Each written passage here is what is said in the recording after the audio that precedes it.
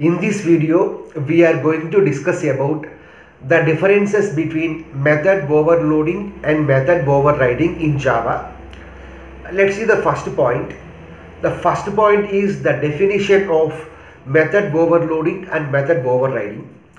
Method overloading is the concept of defining multiple methods with different signature in the same class whereas method overriding is possible while implementing inheritance.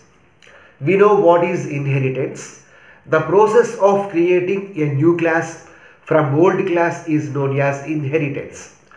Here the base class contains only its own features whereas derived class contains its features as well as its base class features. So if derived class doesn't satisfies with base class definitions, then derived class can provides its own implementation for the corresponding methods. Uh, that is method overriding. Uh, let's see the these eight points one by one. Let's see the first point. Method overloading is performed within a class. So we have to declare a single class. Within the single class, we can define multiple methods with the same name but with different signatures. Signature means number of arguments and order of arguments. So that may be different. Whereas, let's see the first point in method overriding. It is performed between two classes that have inheritance relationship. So we can say that method overriding is possible only while implementing inheritance. So if there is no inheritance then we can say that there is no method overriding. So that is the first point. Method overloading is possible inside a single class whereas method overriding is possible between different classes, between two classes that have inheritance. Let's see the second point. Signature must be different. Signature means number of arguments and order of arguments. So that must be different. Whereas if you take method overriding, signature must be the same. So the number of arguments and order of arguments must be same in both base class as well as derived class. That is the second point. Let's see the third point. It is an example of compile time polymorphism whereas method overriding is an example of runtime polymorphism. We know what is polymorphism. Poly means many, morphism means forms. Representing one thing in many forms is known as polymorphism. Polymorphism is classified into two types compile time polymorphism, runtime, runtime polymorphism. Method overloading is an example for compile time polymorphism, whereas method overriding is an example for runtime polymorphism. Let's see what is compile time polymorphism. The decision about which method will be called should be decided during compilation time whereas runtime polymorphism means the decision about which method will be called should be decided during dynamic that is nothing but execution time. The other names for compile time polymorphism or compile time polymorphism can also be known as static polymorphism, static binding, early binding whereas runtime polymorphism can also be known as dynamic polymorphism, dynamic binding or late binding. Let's see the next point.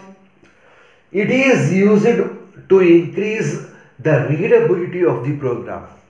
By using method overloading, we can define the same method with different signature for different purposes so that the readability of the program can be increases. We can use the same program with the help of the same method.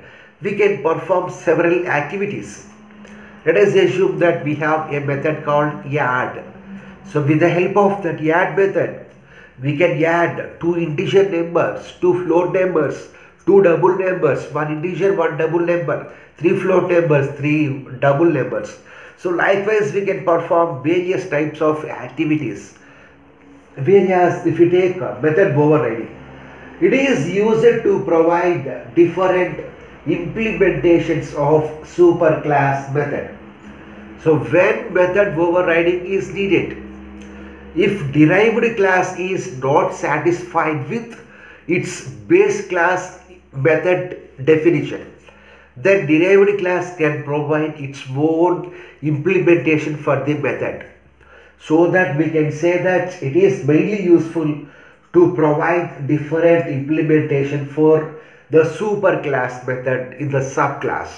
So if so if subclass that is nothing but derived class that is nothing but uh, child class. If child class is not satisfied with its method definition, if child class is not satisfied with its parent class method definition, then child class can provide its own definition for the method with the help of method overriding. Now let's see the next point. Static methods can be overloaded. Private methods can be overloaded. Final methods can be overloaded. For overloading there is no problems. We can overload static methods, private methods and final methods. There is no problem. Coming to the overriding. It is not possible to override static method. If a base class contains static method, then it is not possible to override that method in derived class. Likewise, if a base class contains a private method, then it is not possible to override that method in derived class. Why? Because we know that we can use as private members only inside a class. It is not possible to access private methods from outside the class. So we can say that private methods cannot be overloaded. I'm sorry, private methods cannot be overridden. Next point, final methods cannot be overridden. Final means that that method definition is final. So if a base class contains a final method, then it is not possible to override that method in derived class. If derived class is trying to override that method, then the compiler will generate error message. Now let's see the last point. Return type of method may be same or different. Here let us assume that we have add method. Add method. Let we are adding two integers. Then what is the return type? The if we add two integers, then the result is integer. Let us assume that here we have a int comma float. If we add integer and float, then the return type is float. Next, let us assume that we have one more method. So we add of uh, let the first number is a float number, whereas the second number is integer number. If we add float and integer, then what is the return type? Float is the return type. So that means here the return type of the method may be the same or different. There is no problem here. Whereas here in method overriding, the return type of the base class method and the derived class method must be the same. Suppose in base class, if return type is integer, then in derived class also, the return type must be integer. Suppose in base class, if return type is float, then in derived class also the return type is float.